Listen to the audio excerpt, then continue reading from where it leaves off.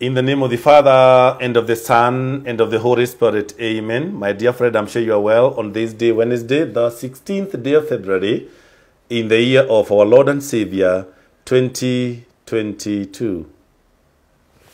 Today we conclude the section that we started on Monday how a Christian should be able to graphically show love to uh, their brothers and sisters, to everyone, those in relationships and otherwise. And yesterday, remember, we ended up with where we talked about the, the Word of God. And we did insist that it is important as Christians to learn the habit of reading the Word of God all the time.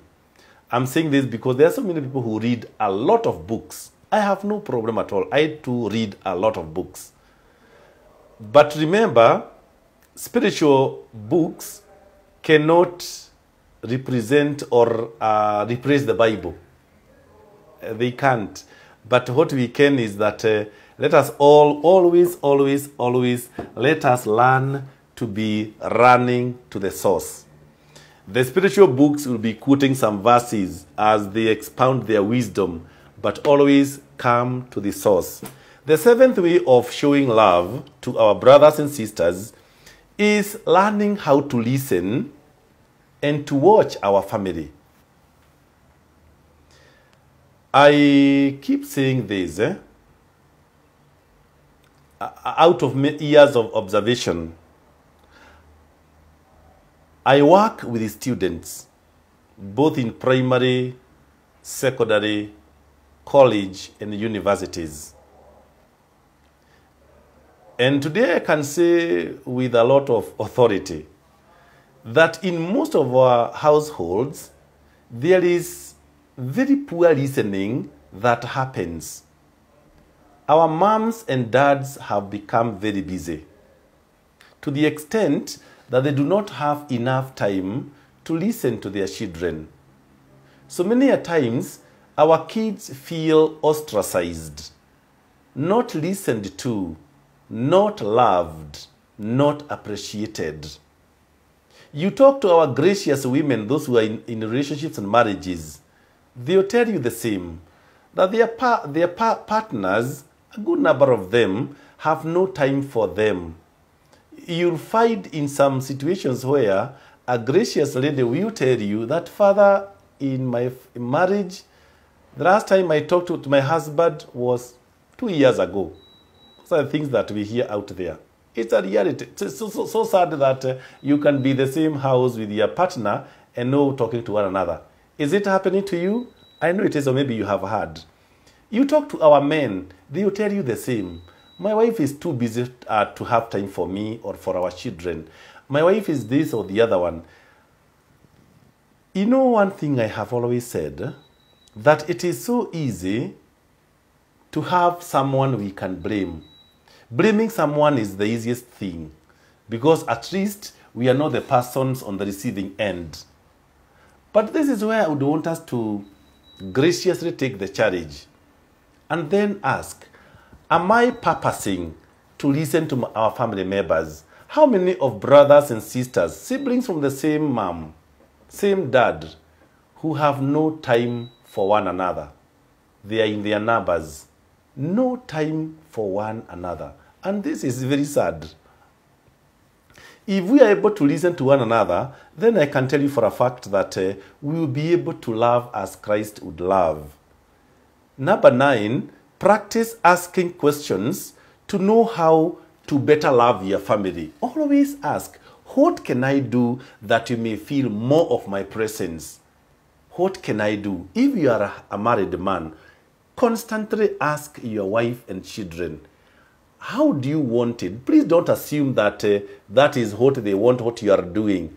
Gracious mothers, the same and wives, please ask your partner, ask your children, brothers and sisters, engage each other. What can we do? Maybe you will say that we can meet often as siblings. We can have more dinners. We can have more lunches. We can do more outings.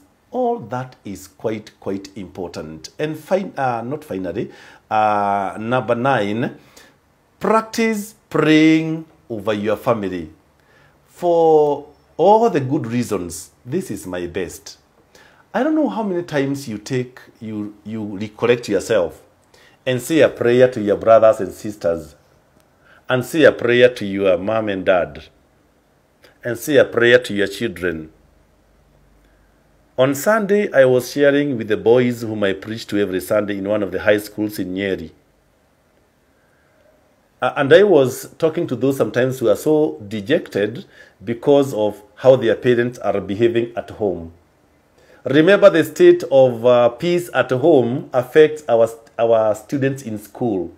So some are gifted intellectually, but they end up performing so bad because they are worried for their moms, for their dads, for their family, all those things. And I told them, dear young boys, there is very little you can do about your mom and your dad's marriage. It is their marriage. They are the ones who know the issues that they are dealing with.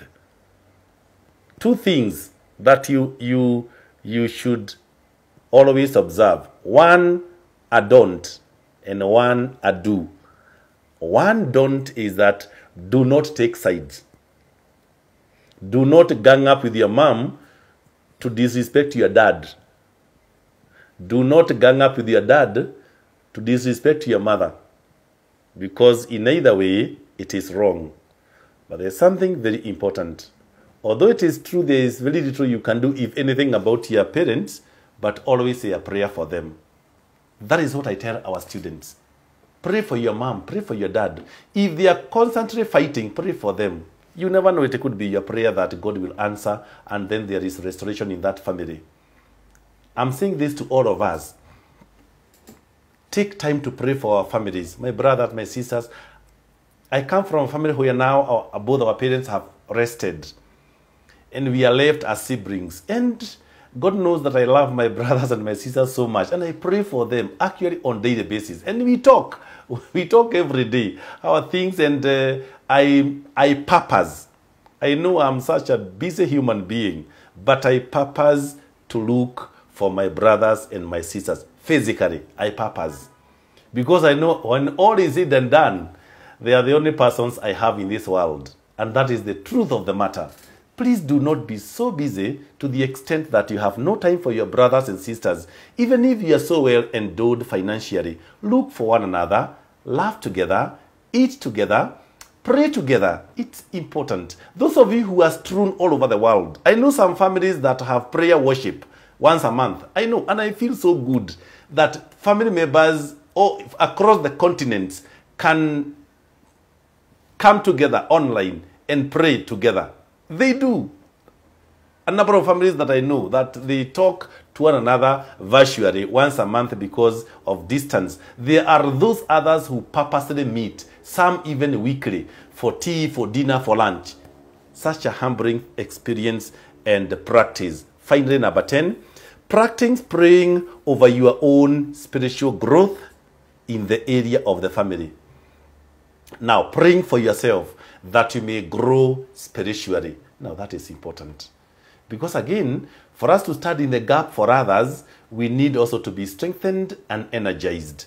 What does that mean? It means if we constantly keep our focus on the source of all that is good, the source who is God energizes us. He who focuses their attention on God, they are perpetually energized. Be that person. Father, Son, and the Holy Spirit. Do have a productive Wednesday. I remain your priest and servant, Father CK. Thank you.